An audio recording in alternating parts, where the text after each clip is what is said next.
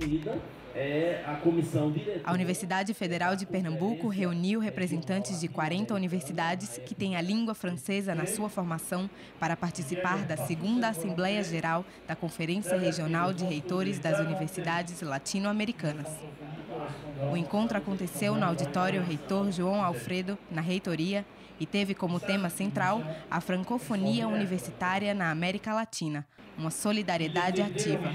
Participaram da mesa o representante da Agência Universitária da Francofonia, professor Jean-Paul de Galdemar, e o reitor da UFPE, professor Anísio Brasileiro, atual presidente do Conselho, a quem coube a abertura dos trabalhos. O encontro teve como objetivo apresentar os resultados do trabalho realizado durante a primeira Assembleia Geral realizada em Bogotá, na Colômbia, ano passado. A ideia este ano é consolidar o formato institucional do Conselho, com a definição de seu estatuto e de seu novo corpo executivo. Esse seminário é um seminário de natureza internacional, envolvendo cerca de 40 universidades da América Latina. Ele reafirma esses princípios ligados à universidade pública, a formação de qualidade dos nossos estudantes, a pesquisa que possa contribuir para redução de desigualdades, dentro de uma visão de uma internacionalização solidária. Com a integração entre as universidades latino-americanas, espera-se uma maior cooperação entre as universidades em torno da temática da formação em língua francesa.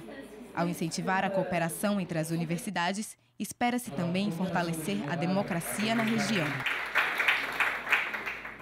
Os valores da língua francesa, que nós chamamos a francofonia, são os mesmos valores das universidades públicas, a UFPE.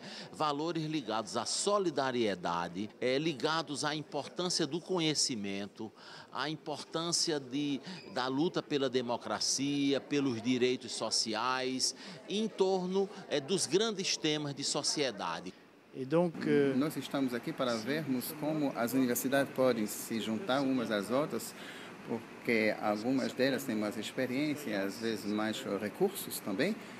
E é a partir da circulação dessas boas práticas que poderemos tirar um, um, um valor agregado para todos. E a democracia faz parte desses valores, faz parte de, desses valores muito importantes para o mundo científico porque a ciência precisa da democracia. A besoin da democracia.